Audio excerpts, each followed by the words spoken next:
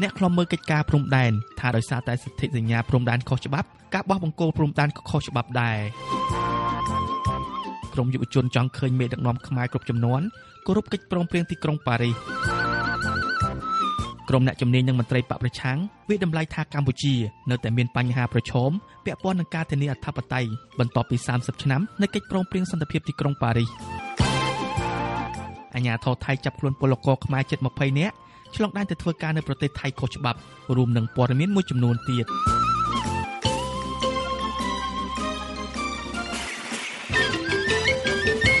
បាទជាបន្តទៅទៀតនេះខ្ញុំបាទជាចំណានសូមជូនព័ត៌មានទាំងនេះពឺស្ដាអ្នកខ្លំមើលកិច្ចការព្រំដែនថាដោយសារតែសន្ធិសញ្ញាព្រំដែនកម្ពុជាវៀតណាមគឺជាឯកសារខុសច្បាប់ដូច្នេះការបោះបង្គោលព្រំដែនជាមួយវៀតណាមទាំង84%កន្លងមកនោះគឺខុសច្បាប់ដូចគ្នាដែរបាទលោកមួងណារ៉េតរាយការណ៍ជុំវិញព័ត៌មាននេះ អ្នកឃ្លាំមើលកិច្ចការព្រំដែននៅតែប្រកាន់ជំហរប្រឆាំងទៅនឹងរបបក្រុងភ្នំពេញដែលនៅតែបន្តបោះបង្គោលព្រំដែនថ្មីជាមួយនឹងប្រទេសវៀតណាមនៅក្នុងស្ថានភាពដែលមានមន្ទិលសង្ស័យជុំវិញឯកសារព្រំដែនបែបនេះ។ ប្រធានក្រុមប្រឹក្សាក្លឹបមើលកម្ពុជានៅប្រទេសណ័រវេលោកម៉ែនណាត នៅតែទាមទារឲ្យរបបលោកហ៊ុនសែនបង្ហាញឯកសារចាស់ដែលមានបញ្ជាក់ច្បាស់អំពីបង្គោលកំណត់ព្រំដែនរវាងប្រទេសកម្ពុជានិងវៀតណាមដែលកំណត់ដោយប្រទេសបារាំងនៅក្នុងអនុសញ្ញាឆ្នាំ1873ដែលមានបង្គោលចាស់124បង្គោលនោះ។ ហើយមង្គល124ហ្នឹងវាវានៅណាហើយសម្ដេចសីហនុនៅឆ្នាំ93ក៏លោករំលឹកឡើងវិញដែរខែ5ហ្នឹងឲ្យឲ្យនាយករដ្ឋមន្ត្រីទាំងពីរកាលនោះប្រាប់ទៅវៀតណាមមកយកមង្គលមកដាក់កន្លែងដើមអាហ្នឹងឯកសារជាវិរិយសារផ្លូវការរបស់ព្រះអង្គយើងយើងមានឯកសារអស់ហ្នឹងពីព្រោះអញ្ចេះបញ្ហាព្រំដែនវាជាបញ្ហាជាតិទាំងមូលរបស់មនុស្សគ្រប់គ្នាហ្នឹងបើសិនយើងបាត់បូរណភាពព្រំដែននៅក្នុងចំណែកណាមួយហាក់ដូចជាយើងបាត់ជើងម្ខាងដៃម្ខាងអញ្ចឹងដូច្នេះហើយបានជាយើងមានក្តីសេចក្តីព្រួយបារម្ភរឿងអស់ហ្នឹង របបឯកបកកម្ពុជាស្រូតបោះបង្គោលព្រំដែនជាមួយនឹងប្រទេសវៀតណាមបាន84%គិតត្រឹមខែតុលាឆ្នាំ2019មុនផ្ទុះការរីករាលដាលនៃជំងឺ Covid-19 កាលនោះលោកនាយរដ្ឋមន្ត្រីហ៊ុនសែនបានធ្វើដំណើរដោយផ្ទាល់ទៅប្រទេសវៀតណាមរយៈពេល2ថ្ងៃដើម្បីចុះហត្ថលេខាទទួលស្គាល់ការបោះបង្គោលព្រំដែននឹងខណ្ឌសីមានេះការបោះបង្គោលបង្ហើយ16%ទៀតនោះត្រូវអាក់ខានទៅវិញដោយសារតែវិបត្តិនៃជំងឺរីករាលដាលជាសកលនោះ។ ក៏ប៉ុន្តែនៅក្នុងជំនួបទ្វេភាគីរវាងកម្ពុជានិងវៀតណាមតាមប្រព័ន្ធវីដេអូកាលពីថ្ងៃទី21ខែតុលាភាគីទាំងពីរឯកភាពគ្នាប្រឹងប្រែងរកមធ្យោបាយបោះបង្ហាយបង្គោលព្រំដែនគោកទាំង16%ដែលនៅសេសសល់នោះ មន្ត្រីគណៈបកប្រឆាំងយល់ថាទាំងការបោះបង្គោលព្រំដែន84%និងការគ្រោងពន្លឿនបោះបង្ហាយ16%ទៀតនោះគឺមិនត្រូវធ្វើនៅក្នុងកលៈទេសៈបែបនេះនោះឡើយលោកអ៊ុំសំអាន ដែលធ្លាប់របបក្រុងភ្នំពេញចាប់ដាក់ពន្ធនាគារដោយសារតែហ៊ាននិយាយអំពីបញ្ហាព្រំដែននេះ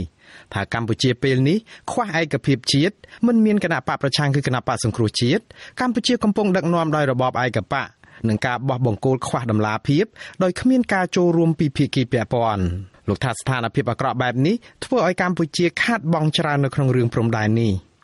មន្ត្រីគណៈបពប្រឆាំងរូបនេះបន្ថែមថាលោកហ៊ុនសែនអាចធ្វើនេះដើម្បីស្អំចិត្តវៀតណាមដែរ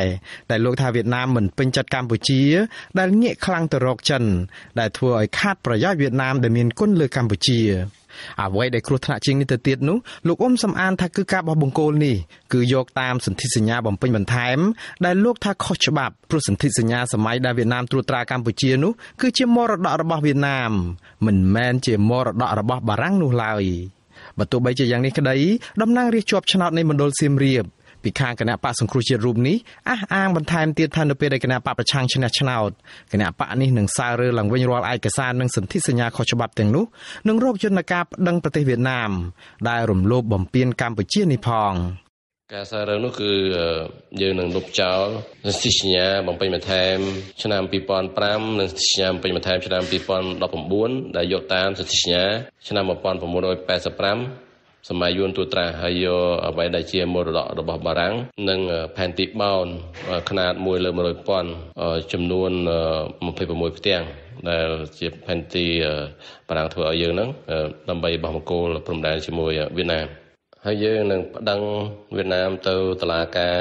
យុទ្ធធម៌អន្តរជាតិ ICJ នៅទីក្រុងឡាអេពីការរំលោភព្រំដែនកម្ពុជា ពីសំណាក់ប្រទេសវៀតណាមហើយនឹងប្តឹងទៅ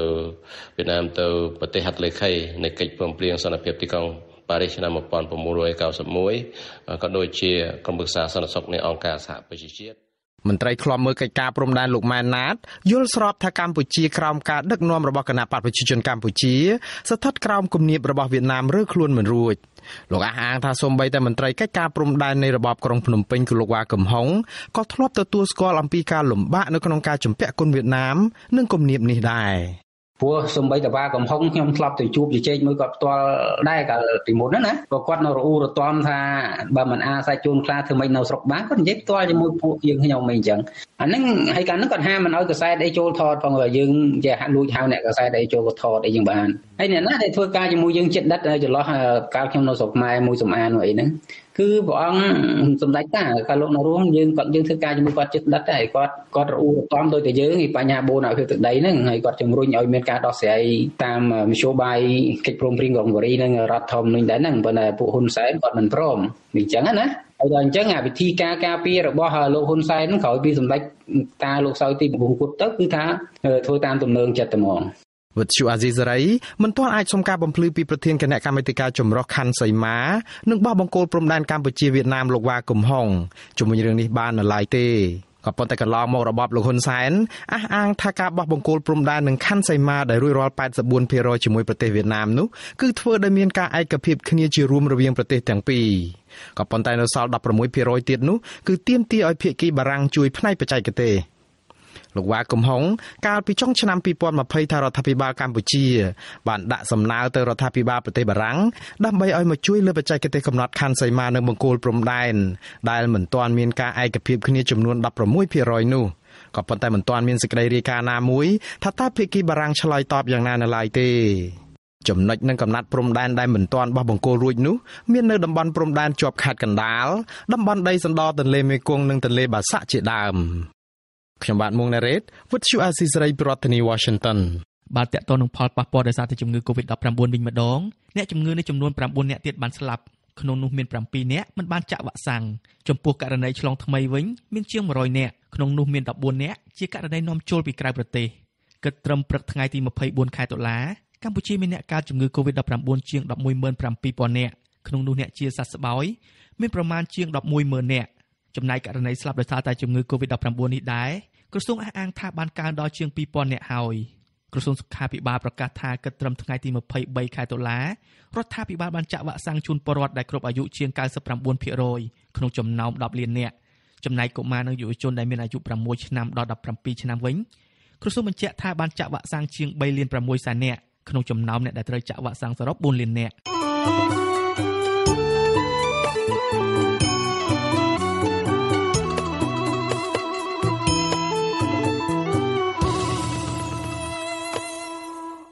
បាទតកតងនឹងផលប៉ះពាល់ដោយសារតែជំងឺ Covid-19 នេះដែរអាជ្ញាធរថៃបានចាប់ខ្លួនពលករខ្មែរជិត20នាក់ក្នុងពេលដែលពួកគេលួចឆ្លងដែនទៅរកការងារធ្វើនៅប្រទេសថៃដោយខុសច្បាប់មន្ត្រីសង្គមស៊ីវិលសង្កេតឃើញថាពលករឆ្លងដែនអំឡុងពេលនេះដោយសារតែពួកគេមានជីវភាពក្រីក្រនិងអត់ការងារធ្វើនៅក្នុងស្រុកទីហ៊ានថៃបានចាប់បញ្ជូនពលករខ្មែរចំនួន17នាក់ក្នុងពេលដែលពួកគេធ្វើដំណើរនៅក្នុងស្រុកថាបាយាខេត្តស្រះកែវជាប់ព្រំដែនស្រុកស្វាយជែកខេត្តបន្ទាយមានជ័យ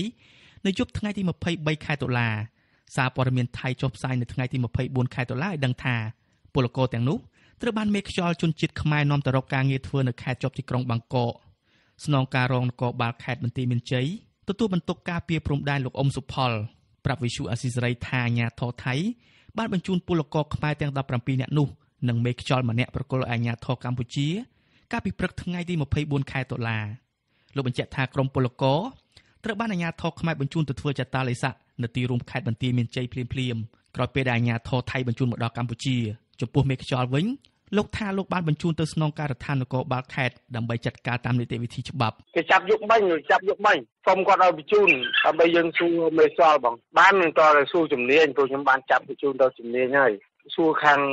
សួរលោកអមេស្នងការបងបញ្ជូនអស់ហើយបងបញ្ជូនអស់ថាតាំងខាងបន្លៃមិន10នាក់ក៏បញ្ជូនអស់ហើយបងបញ្ជូនមកដល់មិញមេប៉ូលីសផ្កាយមួយរូបនេះបន្តថានៅថ្ងៃដដែល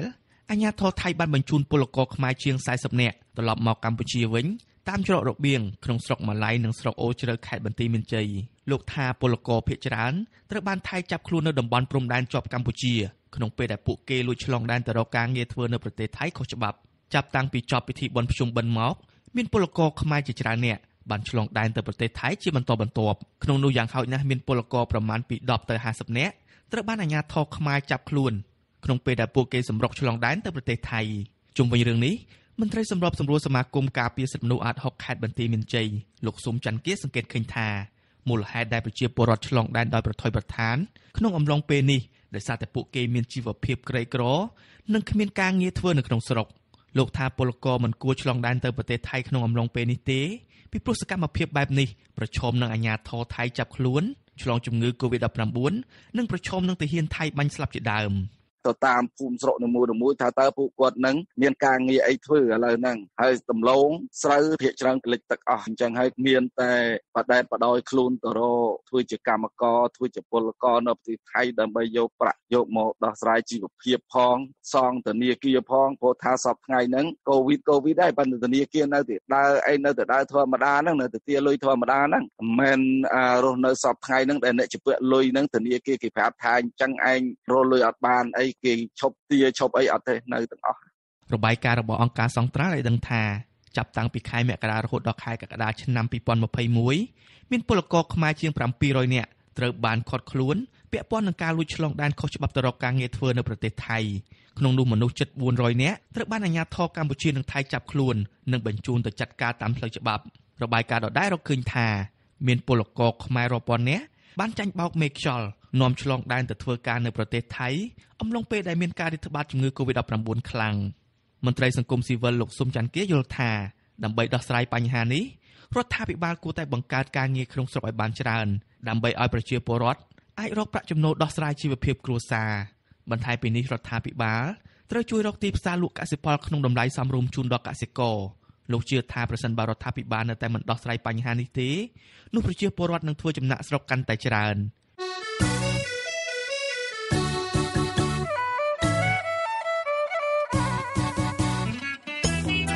នាងស្ដាប់ពីទីនេះត្រីក្រៅពីស្ដាប់និងទស្សនាការផ្សាយរបស់យើងតាមបណ្ដាញសង្គម Facebook និង YouTube លោកនាងក៏អាចស្ដាប់ការផ្សាយរបស់ Visual Assisray តាមរយៈវិទ្យុរលកធាតុអាកាសខ្លីឬ Shortwave ដែលមានកម្រិតនិងកម្ពស់ដូចតទៅនេះ។ពេលព្រឹកចាប់ពីម៉ោង5កន្លះដល់ម៉ោង6កន្លះក្នុងកម្រិត13715 kHz ស្មើនឹងកម្ពស់ 22m ពេលយប់ចាប់ពីម៉ោង7កន្លះដល់ម៉ោង8កន្លះក្នុងកម្រិត9960 kHz ស្មើនឹងកម្ពស់ 30m និងមួយកម្រិតទៀត 11240 kHz ស្មើនឹងកម្ពស់ 25m បាទសូមអរគុណ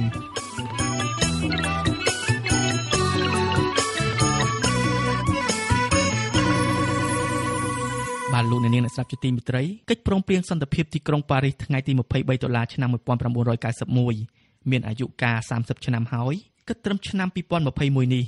ក៏ប៉ុន្តែការអនុវត្តកិច្ចព្រមព្រៀងនេះនៅមិនទាន់បានពេញលេញនៅឡើយទេជាងនេះទៅទៀតរបបលោកហ៊ុនសែន ហាក់ព្យាយាមបន្សាបកិច្ចព្រមព្រៀងនេះម្ដងហើយម្ដងទៀតតាមរយៈការបកស្រាយតាមតែអំពើចិត្តថាកិច្ចព្រមព្រៀងនេះលែងមានសុពលភាពតទៅទៀតហើយប៉ុន្តែក្រមយុវជនដែលបានសិក្សាអំពីរឿងនេះមើលឃើញថាកិច្ចព្រមព្រៀងទីក្រុងប៉ារីសមានតម្លៃជាអមតៈសម្រាប់កូនខ្មែរគ្រប់ចំនួនបាទលោកជីវិតារាយការណ៍ព័ត៌មាននេះក្រមយុវជនសកម្មដែលមានវ័យស្របាលនឹងកិច្ចព្រមព្រៀងសន្តិភាពទីក្រុងប៉ារីជំរុញឲ្យមេដឹកនាំបច្ចុប្បន្ននិងមេដឹកនាំចំនួនក្រោយៗទៀត អនុវត្តខ្លឹមសារនៃកិច្ចព្រមព្រៀងនេះឲ្យបានពេញលេញដើម្បីជាប្រយោជន៍ដល់ប្រជាជាតិខ្មែរគ្រប់ចំនួនប្រធានសមាគមបណ្ដាញយុវជនកម្ពុជាលោកអ៊ុលវ៉ាន់មានប្រសាសន៍ថាកិច្ចព្រមព្រៀងសន្តិភាពទីក្រុងប៉ារីប្រៀបបាននឹងយន្តការពីប្រជាជាតិខ្មែរពីការឈ្លានពានរបស់បរទេសនឹងធ្វើឲ្យខ្មែរមានការបង្រួបបង្រួមនិងអភិវឌ្ឍជាតិលោកថាមេដឹកនាំបច្ចុប្បន្ននិងមេដឹកនាំចំនួនក្រោយៗទៀតគប្បីគោរពនិងអនុវត្តខ្លឹមសារនៃកិច្ចព្រមព្រៀងនេះឲ្យបានត្រឹមត្រូវ លោកបន្ថែមថាកិច្ចព្រមព្រៀងសន្តិភាពក្រុងប៉ារីមានសុពលភាពជារៀងដរាបមិនមែនដូចជាការបកស្រាយរបស់រដ្ឋាភិបាលបច្ចុប្បន្ននេះទេលោកអ៊ុលវ៉ាន់សង្កត់ធ្ងន់ថាការបកស្រាយរបស់រដ្ឋាភិបាលដែលថាកិច្ចព្រមព្រៀងជាអន្តរជាតិនេះអស់សុពលភាពនោះគឺជាការខាតបង់សម្រាប់ជាតិនិងជាការកិច្ចវេះពីកាតព្វកិច្ចនិងការទទួលខុសត្រូវទាំងឡាយដែលមានចែងក្នុងកិច្ចព្រមព្រៀងនេះ ក្នុងនាមជាយុវជនខ្ញុំចង់ឃើញអ្នកនយោបាយបាទមានឆន្ទៈគ្រប់គ្រាន់មានឆន្ទៈមុះមុតនៅក្នុងការទទួលខុសត្រូវជាពិសេសធានានៅការគោរពឲ្យបានពេញលេញប្រកបដោយប្រសិទ្ធភាពនៅកិច្ចព្រមព្រៀងសន្តិភាពទីក្រុងប៉ារីសហើយអ្នកនយោបាយខ្មែរគ្រប់រូបគួរតែចាត់ទុកកិច្ចព្រមព្រៀងសន្តិភាពទីក្រុងប៉ារីសនេះគឺជាអាវក្រោះគឺជាយន្តការអន្តរជាតិមួយដែលអាចការពារកម្ពុជាបានពីហានិភ័យក៏ដូចជាពីបញ្ហាចំនួននយោបាយផ្សេងផ្សេងទាំងនៅក្នុងប្រទេសកម្ពុជាខ្លួនឯងក៏ដូចជានៅក្នុងតំបន់ឬក៏នៅក្នុងអន្តរជាតិស្រដៀងគ្នានេះប្រធានក្រុមអ្នកវិភាគវ័យក្មេងកញ្ញាលីស្រីស្រស់ថ្លែងថាការលើកឡើងរបស់លោកនាយករដ្ឋមន្ត្រីហ៊ុនសែននិងមន្ត្រីរដ្ឋាភិបាលមួយចំនួន ដែលថាកិច្ចព្រមព្រៀងនេះអស់សុពលភាពនោះគឺជាការខុសឆ្គងកញ្ញាថ្លែងថាកិច្ចព្រមព្រៀងសន្តិភាពក្រុងប៉ារីជាឯកសារច្បាប់យ៉ាងសំខាន់ដែលអាចជួយដល់កម្ពុជាឲ្យគេចផុតពីការរំលោភបំពានពីសំណាក់បរទេសទាំងនៅក្នុងពេលបច្ចុប្បន្ននិងអនាគត ម្យ៉ាងវិញទៀតកញ្ញាថាកម្ពុជា អាចប្រើប្រាស់កិច្ចព្រមព្រៀងនេះជាមូលដ្ឋាន ក្នុងការតវ៉ាយកមកវិញ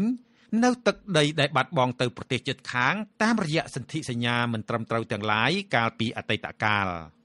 ស្មារតីរបស់កិច្ចព្រមព្រៀងហ្នឹងគឺវានៅតែមានហើយការដែលគោរពអនុវត្តហ្នឹងវាគឺជាចំណុចសំខាន់របស់កម្ពុជាទៅលើការធ្វើឲ្យកម្ពុជាក្លាយជាប្រទេសដែលកាន់របបប្រជាធិបតេយ្យគោរពសិទ្ធិមនុស្សនិងនីតិរដ្ឋហើយក៏ជាប្រទេសដែលមានការធានាជាផ្លូវការអំពីការគោរពអធិបតេយ្យភាពហើយក៏ដូចជាការរំលឹកដល់ប្រទេសផ្សេងទៀតដែលចង់រំលោភអធិប តេយ្យភាពរបស់កម្ពុជាគឺពួកគេមិនអាចធ្វើបានទេបើយោងតាមកិច្ចព្រមព្រៀងមួយនេះអញ្ចឹងនេះគឺជាផលប្រយោជន៍ដែលបើសិនជាយើងអាចអនុវត្តឬក៏យើងជំរុញលើការលើកកម្ពស់ស្មារតីគោរពទៅលើកិច្ចព្រមព្រៀងសន្តិភាពទីក្រុងប៉ារីសអញ្ចឹងយើងអាចបានប្រយោជន៍ទាំងអស់នេះបានការអំពាវនាវរបស់ក្រមយុវជនដែលចង់ឲ្យមេដឹកនាំខ្មែរគោរពនិងអនុវត្តស្មារតីកិច្ចព្រមព្រៀងក្រុងប៉ារីសឲ្យបានពេញលេញនេះគឺដោយសារពួកគេសង្កេតឃើញថា លោកនាយករដ្ឋមន្ត្រីហ៊ុនសែននិងមន្ត្រីរបស់លោកមួយចំនួនបាននាំគ្នាបកស្រាយថាកិច្ចព្រមព្រៀងជាប្រវត្តិសាស្ត្រមួយនេះបានស្លាប់បាត់ទៅហើយលោកហ៊ុនសែនដែលជាហត្ថលេខីមួយរូបដែរនោះធ្លាប់លើកឡើងជាច្រើនដងរួចមកហើយថាកិច្ចព្រមព្រៀងសន្តិភាពក្រុងប៉ារីបានអស់សុពលភាពហើយពីព្រោះខ្លឹមសារទាំងឡាយនៃកិច្ចព្រមព្រៀងនេះត្រូវបានដាក់បញ្ចូលទៅក្នុងរដ្ឋធម្មនុញ្ញឆ្នាំ1993អស់ទៅហើយលោកថ្លែងទៀតថា បើចង់ឲ្យកម្ពុជាអនុវត្តកិច្ចព្រមព្រៀងនេះវិញទាល់តែមានសង្គ្រាមជាថ្មី ហើយស្ថាប័នព្រះមហាក្សត្រនិងតុលាការខ្មែរក្រហមជាដើមសុទ្ធសឹងតែត្រូវរំលាយចោលបើគោរពប៉ារីសទៅដោះលែងគឺសម្ផនត្រឡប់មកវិញហើយលុបចោលអាតឡាការគាត់ចោលរឿងវាបានឈានមកដល់រដ្ឋធម្មនុញ្ញដែលត្រូវអនុវត្តព្រោះមានអន្តរណាទៀតហើយបើសិនជាត្រូវអនុវត្តកិច្ចព្រមព្រៀងប៉ារីកម្ពុជាមិនត្រូវមានព្រះបបររដ្ឋត្រូវមានមហាក្សត្រទេ ត្រូវមានក្រុមប្រឹក្សាជាតិជាន់ខ្ពស់ហើយព្រះមហាក្សត្រយើងគឺត្រឹមតែជាប្រធានក្រុមប្រឹក្សាជាតិជាន់ខ្ពស់ទេហើយអ្នកដែលមានសិទ្ធិសម្រេចចុងក្រោយគឺនៅលើប្រធានអ៊ុនតាក់ឯណោះរឿងហ្នឹងហើយដែលខ្ញុំមិនព្រមហើយខ្ញុំទៅទៅជាកនៅលើជ្រុញនៅក្នុងក្រមប្រឹក្សាសន្តិសុខអង្គការសហប្រជាជាតិរបស់ការបកស្រាយបែបនេះរបស់លោកនាយករដ្ឋមន្ត្រីហ៊ុនសែនត្រូវបានមន្ត្រីក្រមបង្គាប់របស់លោកយកទៅសូត្ររត់មាត់តាមគ្នា និងនិយាយបន្តទាំងជាមួយអ្នកសារព័ត៌មាន ទាំងក្នុងវេទិកាសាធារណៈនានា ជាងនេះទៅទៀតពួកគេហាក់លើកដំកើងលោកនាយករដ្ឋមន្ត្រីហ៊ុនសែនតែម្នាក់គត់ឲ្យមានគុណសម្បត្តិលើកិច្ចព្រមព្រៀងសន្តិភាពក្រុងប៉ារីជាឧទាហរណ៍រដ្ឋមន្ត្រីការបរទេសកម្ពុជាលោកប្រាក់សុខុនបានហៅលោកនាយករដ្ឋមន្ត្រីហ៊ុនសែនថាជាមហារដ្ឋបុរសនៅចំពោះមុខអង្គទូតបរទេសនិងភ្ញៀវកិត្តិយសដទៃទៀត ក្នុងពិធីប្រារព្ធខួប30ឆ្នាំនៃកិច្ចព្រមព្រៀងនេះកាលពីថ្ងៃទី23តុលាក្នុងសន្ទរកថារយៈពេលជិត1ម៉ោងលោកប្រាក់សុខុនហាក់មិនសូវផ្ដល់តម្លៃដល់កិច្ចព្រមព្រៀងសន្តិភាពក្រុងប៉ារីសនោះទេប៉ុន្តែលោកបានលើកដំកើងលោកនាយករដ្ឋមន្ត្រីហ៊ុនសែនឲ្យមានគុណសម្បត្តិលើតួអង្គឯទៀតឯទៀតដែលបានចូលរួមផ្ដួចផ្ដើមដែលក្នុងនោះមានទាំងព្រះបរមរតនកោដ្ឋនរោត្តមសីហនុផងដែរលោកអះអាងថា លោកនាយករដ្ឋមន្ត្រីហ៊ុនសែនជាអ្នកដឹកនាំតែម្នាក់គត់ដែលនាំមកនៅសន្តិភាព ការបង្រួបបង្រួមជាតិនិងឯកភាពទឹកដីនៅចុងឆ្នាំ1998តាមរយៈនយោបាយឈ្នះឈ្នះរាជរដ្ឋាភិបាលបានអនុញ្ញាតឲ្យធនាគារជាតិកម្ពុជាចេញផ្សាយនៅក្រដាសប្រាក់ថ្មីមានតម្លៃ30,000រៀលតាមរយៈការបោះពុម្ពផ្សាយក្រដាសប្រាក់នេះរាជរដ្ឋាភិបាលកម្ពុជា ដឹកនាំដោយសម្ដេចហ៊ុនសែន ស្ថាបត្យករទី1និងសំខាន់បំផុតនៃកិច្ចព្រមព្រៀងក្រុងប៉ារីបញ្ជាក់សារជាថ្មីអំពីសារៈសំខាន់នៃសមិទ្ធផលជាប្រវត្តិសាស្ត្រនិងរំលឹកប្រជាពលរដ្ឋទាំងអស់អំពីគុណបំណាច់នៃកិច្ចព្រមព្រៀងនិងអ្នកដែលបានរួមគ្នាសម្រេចកិច្ចព្រមព្រៀងនេះចំពោះសន្តិភាពនិងការពង្រឹងរួមជាតិទោះជាយ៉ាងណាអគ្គលេខាធិការសហព័ន្ធនិស្សិតបញ្ញវន្តកម្ពុជាលោកគៀនពន្លកយល់ថា មូលហេតុដែលរដ្ឋាភិបាលលោកហ៊ុនសែនមិនសូវផ្ដល់តម្លៃដល់កិច្ចព្រមព្រៀងសន្តិភាពក្រុងប៉ារីពីព្រោះរដ្ឋាភិបាលបានបរាជ័យក្នុងការអនុវត្តតាមខ្លឹមសារមួយចំនួននៅក្នុងកិច្ចព្រមព្រៀងនេះលោកថាចំណុចបរាជ័យទាំងនោះ មានជាអាចការប្រែក្លាយកម្ពុជាទៅជារបបដឹកនាំឯកបកការគៀបសង្កត់សិទ្ធិសេរីភាពពលរដ្ឋនិងការធ្វើឲ្យជាតិបែកបាក់តាមរយៈការកម្ចាត់អ្នកមានទស្សនៈនយោបាយផ្ទុយនិងសម្លេងឯករាជ្យជាដើម យុវជនដែលជាអ្នកឃ្លាំមើលស្ថានភាពនយោបាយរូបនេះសង្កត់ធ្ងន់ថាកិច្ចព្រមព្រៀងសន្តិភាពទីក្រុងប៉ារីមានតម្លៃជាអមតៈដូច្នេះមេដឹកនាំដែលចង់លុបបំបាត់ឬប៉ុនប៉ងបន្សាបកិច្ចព្រមព្រៀងនេះពួកគេមិនមែនជាអ្នកស្នេហាជាតិពិតប្រាកដនោះទេមានតែមេដឹកនាំដែលស្ថិតនៅក្នុងការកាន់អំណាចបែបផ្ដាច់ការទេដែលមិនគោរពទៅលើស្មារតីនៃកិច្ចព្រមព្រៀងសន្តិភាពទីក្រុងប៉ារីសហើយខ្ញុំមិនចង់ឃើញប្រទេសកម្ពុជាមួយដែលធ្លាក់ រអិលទៅក្នុងការដឹកនាំបែបផ្ដាច់ការទេខ្ញុំចង់ឃើញប្រទេសកម្ពុជាមួយដែលមានការគោរពលទ្ធិប្រជាធិបតេយ្យពិតប្រាកដមានការគោរពសិទ្ធិមនុស្សពិតប្រាកដហើយជាពិសេសហ្នឹងគឺចង់ឃើញការផ្សះផ្សាជាតិហើយនឹងបង្រួបបង្រួមជាតិព្រោះអីបច្ចុប្បន្ននេះគឺកម្ពុជាកំពុងតែជួបបញ្ហាធំធំដែលត្រូវចូលរួមគ្នាដោះស្រាយមានដូចជាវិបត្តិ COVID-19 ការដកប្រព័ន្ធអនុគ្រោះពន្ធ EVA ការដកប្រព័ន្ធអនុគ្រោះពន្ធ GSP ហើយនឹងការដាក់ទណ្ឌកម្មទៅលើមន្ត្រីរដ្ឋាភិបាលធំធំ ក្នុងខួប30ឆ្នាំនេះប្រជាពលរដ្ឋខ្មែរទាំងក្នុងទាំងក្រៅប្រទេសក្រមសង្គមស៊ីវិលឯករាជ្យអង្គការអន្តរជាតិនិងប្រទេសហត្ថលេខីមួយចំនួនបានធ្វើសកម្មភាពផ្សេងៗគ្នាដើម្បីបង្ហាញការគាំទ្រនិងទាមទារឲ្យរដ្ឋាភិបាលលោកហ៊ុនសែនគោរពកិច្ចព្រមព្រៀងសន្តិភាពទីក្រុងប៉ារីជាពិសេសប្រទេសហត្ថលេខីមួយចំនួន ដូចជាសហរដ្ឋអាមេរិកបារាំងអង់គ្លេសអូស្ត្រាលីនិងជប៉ុនជាដើមបានលើកឡើងជាចំហថា រដ្ឋាភិបាលលោកហ៊ុនសែនមិនទាន់អនុវត្តកិច្ចព្រមព្រៀងសន្តិភាពក្រុងប៉ារីឲ្យបានពេញលេញនៅឡើយទេហើយចំណុចខ្វះខាតទាំងនោះគួរតែត្រូវបានពិនិត្យពិចារណាឡើងវិញក្រមប្រទេសប្រជាធិបតេយ្យទាំងនោះបញ្ជាក់ច្បាស់ច្បាស់ទៀតថាពួកគេនឹងឈរជាមួយពលរដ្ឋខ្មែរដែលចង់បានការអភិវឌ្ឍការគោរពសិទ្ធិមនុស្សនិងលទ្ធិប្រជាធិបតេយ្យពិតប្រាកដស្របតាមស្មារតីនៃកិច្ចព្រមព្រៀងសន្តិភាពក្រុងប៉ារីក្រុមអង្គការសង្គមស៊ីវិលនិងក្រុមបញ្ញវន្ត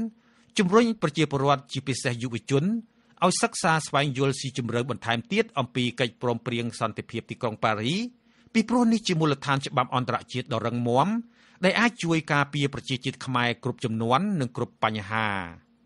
សំខាន់ជាងនេះទៅទៀតនោះពួកគេថាការយល់ដឹងច្បាស់ពីកិច្ចព្រមព្រៀងសន្តិភាពទីក្រុងប៉ារីអាចបណ្ដុះស្មារតីអ្នកដឹកនាំចំនួនក្រោយឲ្យគិតគូរបញ្ហាជាតិជាធំ ដោយអនុលោមតាមស្មារតីនៃកិច្ចព្រមព្រៀងមួយនេះខ្ញុំជីវិតាអាស៊ីសេរីបាទតកតននឹងកិច្ចព្រមព្រៀងសន្តិភាពទីក្រុងប៉ារីសនេះដែរក្រុមអ្នកជំនាញនិងមន្ត្រីបកប្រឆាំងវាតម្លៃថា30ឆ្នាំក្រោយកិច្ចព្រមព្រៀងសន្តិភាពទីក្រុងប៉ារីសនេះកម្ពុជានៅតែមានបញ្ហាប្រឈមពាក់ព័ន្ធនឹងការធានាអធិបតេយ្យបូរណភាពទឹកដីឯករាជ្យនិងអព្យាក្រឹតភាពរបស់ខ្លួនដដែលទន្ទឹមនឹងនេះពួកគេថាប្រទេសចិននិងប្រទេសជិតខាងកម្ពុជា ដែលជាភាគីហត្ថលេខីនៃកិច្ចព្រមព្រៀងនេះ កំពុងតែរំលោភបំពានអធិបតេយ្យបូរណភាពទឹកដីនិងអព្យាក្រឹតភាពរបស់កម្ពុជាតើពួកគេសំអាងអ្វីខ្លះទើបវាតម្លៃបែបនេះបាទសូមអញ្ជើញលោកអ្នកនាងរងចាំស្ដាប់ព័ត៌មានលម្អិតអំពីរឿងនេះនៅពេលបន្តិចទៀតនេះ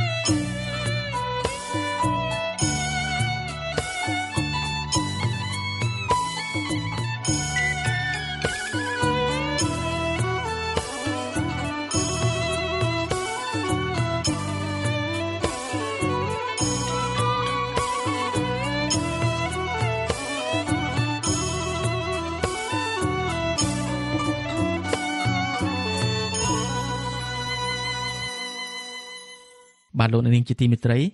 សហជីពឯករាជ្យនិងកម្មកររោងចក្រដិនហាន បន្តទៀមទាភាគីតកែបើកប្រាក់ឈ្នួលឲ្យបានពេញលេញគឺប្រាក់ដែលតកែនៅចំពាក់ពួកគេការពីអំឡុងពេលដែលបិទគប់ដើម្បីទប់ស្កាត់ការរាលដាលជំងឺ Covid-19 នៅភូមិសាស្ត្ររាជធានីភ្នំពេញអំឡុងខែមេសានិងខែឧសភាពួកគាត់អះអាងថាភាគីតកែកំពុងរំលោភច្បាប់ស្តីពីការងារនិងប័ណ្ណបញ្ជាផ្ទៃក្នុងរបស់រោងចក្រដោយសារតែតកែបដិសេធជាបន្តបន្ទាប់ជុំវិញការទៀមទារបស់កម្មករនៅក្រសួងការងារ និងក្រុមប្រឹក្សាអាជ្ញាកណ្ដាលប៉ុន្តែនយោជកលើកឡើងថាភាគីរោងចក្រកំពុងអនុវត្តច្បាប់ការងារហើយបាទលោកមួណារ៉េតសូមជូនសេចក្តីរាយការណ៍មួយទៀតអំពីរឿងនេះ សហជីពឯករាជ្យលើកឡើងថាការដែលភិក្ខីថាកែមិនបើកប្រាក់ឈ្នួលឲ្យកម្មករពេញលេញអំឡុងពេលបិទគប់នៃខែមេសានិងខែឧសភានោះគឺជាទង្វើមិនអាចទទួលយកបាន និងមិនស្របតាមច្បាប់នោះឡើយព្រោះករណីនេះធ្វើឲ្យពួកគាត់ត្រូវបាត់បង់ប្រាក់ឈ្នួលនិងរងការរំលោភបំពានសិទ្ធិចំពោះដែលសង្គមកំពុងតែរងផលប៉ះពាល់ដោយសារតែការរីករាលដាលនៃជំងឺ Covid-19 ប្រធានសហជីពប្រជាធិបតេយ្យកម្មករកាត់ដេរកម្ពុជាប្រចាំរោងចក្រឌិនហាន លោកឡុងសក្តាប្រាប់វិទ្យុអាស៊ីសេរីថាអំឡុងខែមេសានិងឧសភាកម្មកររោងចក្រឌិនហានបានឆ្លងជំងឺ Covid-19 និងត្រូវធ្វើចតាល័យស័កនិងបិទគប់នៅតាមបន្ទប់ជួលដោយមិនមានការយកចិត្តទុកដាក់ពីសំណាក់ថៅកែរោងចក្រនិងអាជ្ញាធរនោះឡើយ លោកបន្តថាបន្ទាប់ពីបិទគប់រួចខាងបេឡាជាតិរបបសន្តិសុខសង្គមបានបើកប្រាក់ចំនួន70%ដល់កម្មករស្របតាមច្បាប់ស្តីពីការងារក៏ប៉ុន្តែតកែរោងចក្រវិញបែរជាបើកប្រាក់ឈ្នួលឲ្យកម្មករតែ50%ដោយផ្ទុយពីច្បាប់ការងារនិងបទបញ្ជាផ្ទៃក្នុងរបស់រោងចក្រដែលធានាថាកម្មករដែលឈឺត្រូវទទួលបានប្រាក់ឈ្នួល100% លោកឡុងសាកដាសោកស្ដាយចំពោះភៀកគីថាកែដែលមិនអនុវត្តច្បាប់ និងមិនយល់ពីសុខទុក្ខរបស់កម្មករដែលខិតខំធ្វើការទាំងលំបាកលំបិនដើម្បីដំណើរការរោងចក្រនិងរកប្រាក់ចំណេញឲ្យថៅកែរាល់ឆ្នាំលោកទៀមទីឲ្យថៅកែរោងចក្រកាត់ដេរនេះបើកប្រាក់ឈ្នួលដល់កម្មករឲ្យបានពេញលេញដោយស្របតាមច្បាប់ការងារ ដោយសារយើងលើកមកវាមានរោងចក្រខ្លះដែរដែលគេគិតឲ្យកម្មកររបស់គេដល់យើងណាកម្មករក៏គាត់អន់ចិត្តដែរថាពួកគាត់លំបាកពួកគាត់ខំធ្វើការឲ្យក្រុមហ៊ុនកន្លងមកយូរហើយដែរក្រុមហ៊ុនក៏ចំណេញដែរតែគាត់លំបាកគាត់មានជំងឺមានតរៈអីចឹងក្រុមហ៊ុនអត់ស្គាល់ពីគាត់អត់គិតគាត់អត់គិតតាមច្បាប់ឲ្យគាត់គាត់ស្នើសុំមកខាងសហជីពឲ្យជួយជជែកតវ៉ារឿងនឹងឲ្យគាត់រោងចក្រកាត់ដេរឌិនហាន ស្ថិតនៅខណ្ឌមានជ័យរាជធានីភ្នំពេញ មានកម្មករជិត3000នាក់ រោងចក្រនេះបានផ្អាកមួយរយៈដោយសារតែផ្ទុះជំងឺ Covid-19 បណ្ដាលឲ្យកម្មករជាង600នាក់ឆ្លងជំងឺ Covid-19 និងកម្មករផ្សេងទៀតត្រូវធ្វើចតាល័យសាក់តាមផ្ទះនិងបន្ទប់ជួល កាលពីខែមេសានិងខែឧសភាកាលពីពេលថ្មីថ្មីនេះក្រុមកម្មករបានដាក់បណ្ដឹងទៅក្រសួងការងារដើម្បីសុំផ្សះផ្សានិងស្វែងរកដំណោះស្រាយករណីដែលថៅកែរោងចក្រមិនបើកប្រាក់ឈ្នួល100%ដល់កម្មករអំឡុងពេលបិទគប់នៃខែមេសានិងខែឧសភានោះក៏ប៉ុន្តែភាគីថៅកែបដិសេធ បន្ទាប់មកក្រសួងការងារបានបញ្ជូនសំណុំរឿងនេះទៅក្រុមប្រឹក្សាអាជ្ញាកណ្ដាលដើម្បីបន្តនីតិវិធីក្រុមប្រឹក្សាអាជ្ញាកណ្ដាលបានកោះហៅភាគីកម្មករនិងភាគីតកែចូលសវនាការកាលពីថ្ងៃទី18ខែតុលាដោយអនុញ្ញាតឲ្យភាគីទាំងសងខាងបង្ហាញភ័ស្តុតាងហើយភាគីតកែនៅតែបដិសេធដដែលដោយលើកហេតុផលថាពុំមានលទ្ធភាពផ្ដល់ប្រាក់នេះទេ ដូច្នេះក្រុមប្រឹក្សាអាជ្ញាកណ្ដាលបានប្រកាសថានឹងចេញសេចក្តីសម្រេចកាលពីថ្ងៃទី22ខែតុលាក៏ប៉ុន្តែរហូតមកដល់ពេលនេះសហជីពនិងកម្មករនៅរោងចក្រដេនហានមិនទាន់ទទួលបានសេចក្តីសម្រេចពីក្រុមប្រឹក្សាអាជ្ញាកណ្ដាលនោះនៅឡើយទេ វិទ្យុអាស៊ីសេរីក៏មិនអាចតាក់ទងណែនាំពាក្យក្រសួងការងារនិងបណ្ដុះបណ្ដាលវិជ្ជាជីវៈលោកហេងសួរនិងអគ្គលេខាធិការសមាគមរោងចក្រកាត់ដេរកម្ពុជាហៅកាត់ថាជីម៉ាក់លោកខេនលូដើម្បីបកស្រាយជំរឿននេះបានទេនៅថ្ងៃទី24ខែតុលាចំណែកឯថៅកែរោងចក្រឌិនហានលោកប៊ិនប្រាប់វិទ្យុអាស៊ីសេរីដោយខ្លីថាករណីនេះរោងចក្ររបស់លោកអនុវត្តតាមច្បាប់ក្រសួងការងាររួចរាល់អស់ហើយ បើទោះបីជាយ៉ាងនេះក្តីកម្មកររោងចក្រកាត់ដេរឌីនហានលោកស្រីខិនសុភាប្រាប់ថាលោកស្រីខកចិត្តចំពោះថៅកែរោងចក្រដែលមិនឆ្លើយតបតាមការទាមទាររបស់ក្រុមកម្មករអំឡុងពេលនៃការរាតត្បាតនៃជំងឺ Covid-19 លោកស្រីអះអាងថាកម្មករត្រូវការប្រាក់ឈ្នួលដែលក្រុមហ៊ុនមិនព្រមបើកឲ្យនោះដើម្បីដោះស្រាយជីវភាពគ្រួសារដែលកំពុងតែខ្វះខាតស្របពេលដែលលោកស្រីយកទឹកបបរបញ្ចុកកូនតូចទៀតផងលោកស្រីឲ្យដឹងថាបច្ចុប្បន្ននេះបើទោះបីជាកម្មករបានចូលធ្វើការឡើងវិញក៏ដោយក៏ប៉ុន្តែប្រាក់ខែគោលមិនអាចធ្វើឲ្យជីវភាពគ្រួសារលោកស្រីប្រសើរនោះទេព្រោះលោកស្រីចំណាយច្រើនជាងមុនដោយត្រូវបង់ទឹកភ្លើងបន្ទប់ជួលនិងសងបំណុលមួយខែជាង165ដុល្លារជាដើមលោកស្រីស្នើដល់ស្ថាប័នពាក់ព័ន្ធជួយអន្តរាគមន៍ទៅភាគីថៃកែដើម្បីផ្ដល់យុត្តិធម៌ដល់កម្មករដែលកំពុងតែលំបាកផ្នែកជីវភាពនេះផង និយាយទៅអត់មានបានអីពីពីរោងចក្រនិយាយរួមទៅអត់ជួយអីយើងទឹកដាច់ហ្មងការហ្នឹងមានចាំបាច់គិតអីគាត់ពិចារណាអីចង់សនោមកគាត់ឲ្យឲ្យបើកអីយើងឲ្យ100%ដូចគេដូចឯងទៅវាបានជួយដោះស្រាយខ្លះដែរព្រោះអីអ្នកខ្លះគេទៅពាក់គេតាំងពីនងមកសងមិនតាន់រួចទេអូនហើយព្រោះអីយើងបងធនាគារបងអីទៀតណាអញ្ចឹងមិនថាបើបានគាត់ឲ្យអញ្ចឹងមកវាបានលុយនឹងទុកបានមួយខែអញ្ចឹងណា ជំរាបរឿងនេះមន្ត្រីគ្រប់គ្រងកម្មវិធីសិទ្ធិការងារនៃមជ្ឈមណ្ឌលសម្ព័ន្ធភាពការងារនិងសិទ្ធិមនុស្សហៅកាត់ថាអង្គការសង្ត្រាល់លោកខុនថារ៉ូមានប្រសាសន៍ថារហូតមកដល់ពេលនេះក្រុមហ៊ុនបញ្ជាទិញមិនទាន់ឆ្លើយតបទៅនឹងរបាយការណ៍របស់ក្រមសហជីពនៅឡើយទេនៅក្នុងពេលដែលភាគីថៅកែក៏មិនទាន់បំពេញកាតព្វកិច្ចរបស់ខ្លួនឲ្យបានពេញលេញជុំវិញករណីកេងប្រវ័ញ្ចប្រាក់ឈ្នួលកម្មករនេះដែរលោកថាបញ្ហានេះគឺជាកំហុសរបស់នយោជកដែលរំលោភសិទ្ធិនិងលក្ខខណ្ឌការងាររបស់កម្មករដែលប្រឈមនឹងបញ្ហាជីវភាពនិងឆ្លងជំងឺ Covid-19 នោះ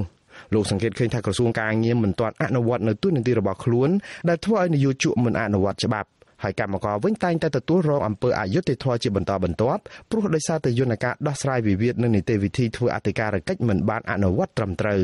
វាទាមទារឲ្យមានឆន្ទៈនៅក្នុងការធ្វើការងារជាយន្តការជាលក្ខណៈប្រព័ន្ធនៅក្នុងយន្តការជាសកលមួយដែលត្រូវបានធ្វើការគ្រប់គ្រងតាមរយៈយន្តការស្ថាប័នពាក់ព័ន្ធមានដូចជា ILO មានដូចជាក្រុមហ៊ុនអ្នកបញ្ជាទិញជាពិសេសគឺរាជរដ្ឋាភិបាលវិស័យឯកជនហើយនិងសមាគមនយោជកហើយបើអស់ដោះស្រាយទៅបានវាលុះត្រាតែវាមាននៅឆន្ទៈនៅក្នុងការដោះស្រាយបញ្ហាដែលកម្មករគាត់ជួបប្រទះជាពិសេសគឺនៅក្នុងស្ថានភាព COVID នេះ របាយការណ៍របស់ក្រមសហជីពកន្លងទៅបង្ហាញថាកម្មករធ្វើការនៅក្នុងវិស័យកាត់ដេរសម្លៀកបំពាក់ស្បែកជើងនិងឧស្សាហកម្មស្បែកជើងបាត់បង់ប្រាក់ឈ្នួលប្រមាណ109លានដុល្លារអាមេរិកអំឡុងពេលនៃការរាតត្បាតនៃជំងឺ Covid-19 និងការបិទគប់ចន្លោះពីខែមេសាដល់ខែឧសភាដោយសារតែនយោជកមិនផ្ដល់ប្រាក់ឈ្នួលទាំងនោះឲ្យពួកគាត់ របាយការណ៍ដដែលឲ្យដឹងទៀតថាគួបផ្សំនឹងប្រាក់ឈ្នួលនិងប្រាក់អតីតភាពការងាររយៈពេល13ខែដំបូងនៃការរាតត្បាតនៃជំងឺ Covid-19 ដែលនយោជកជំពាក់កម្មករផងការខាតបង់សម្រាប់កម្មករមានរហូតដល់ជិត400លានដុល្លារជាមួយគ្នានេះក្រុមសហជីពទទូចដល់ក្រុមហ៊ុនបញ្ជាទិញធំធំនិងម៉ាកយីហោល្បីល្បីឲ្យជួយអន្តរាគមន៍ចំពោះការកេងប្រវ័ញ្ចអត្ថប្រយោជន៍របស់កម្មករព្រោះកន្លងទៅក្រុមហ៊ុនធំធំទាំងនោះមិនបានជួយដោះស្រាយករណីរំលោភសិទ្ធិការងារនេះទេ ខ្ញុំបាទមុងណារ៉េត With you Azizari ប្រធានាទី Washington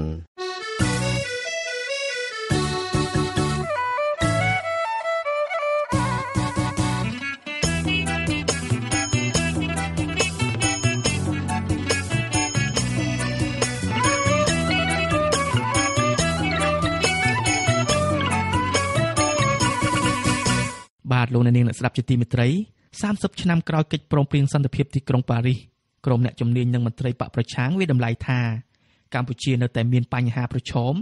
ពាក់ព័ន្ធនឹងការធានាអធិបតេយ្យបូរណភាពទឹកដីឯករាជ្យនិងអព្យាក្រឹតភាពរបស់ខ្លួនដដែលទន្ទឹមនឹងនេះពួកគេថាប្រទេសចិននិងប្រទេសជិតខាងកម្ពុជាដែលជាភាគីហត្ថលេខីនៃកិច្ចព្រមព្រៀងនេះកំពុងតែរំលោភបំពានអធិបតេយ្យបូរណភាពទឹកដីនិងអព្យាក្រឹតភាពរបស់កម្ពុជា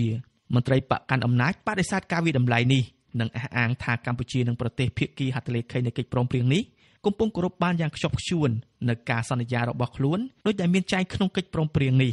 បាទលោកមេរិតរាយការណ៍ព័ត៌មាននេះក្រៅពីវាតម្លៃថាគេដំណើរអវិជ្ជមានជាច្រើន កំពុងរុញច្រានកម្ពុជាឲ្យវិលត្រឡប់មករកស្ថានភាពគ្រប់គ្រងដោយរបបផ្ដាច់ការឯកបកមិនខុសពីនៅមុនឆ្នាំ1991នោះខណៈកម្ពុជាប្រាជ័យមិនអាចកសាងសង្គមប្រជាធិបតេយ្យនិងនីតិរដ្ឋបានពិតប្រាកដដោយតាមការចង់បានរបស់កិច្ចព្រមព្រៀងសន្តិភាពក្រុងប៉ារីសនេះបញ្ហាមិនអាចធានាបាននៅអធិបតេយ្យបូរណភាពទឹកដីឯករាជ្យនិងអព្យាក្រឹតភាពពេញលេញរបស់កម្ពុជា នៅតែមានភាពចម្រូងចម្រាសដដែល អ្នកជំនាញកិច្ចការអន្តរជាតិបណ្ឌិតអៀសផលពន្យល់ប្រាវិសុយស៊ីសេរីតាមសារអេឡិចត្រូនិកថា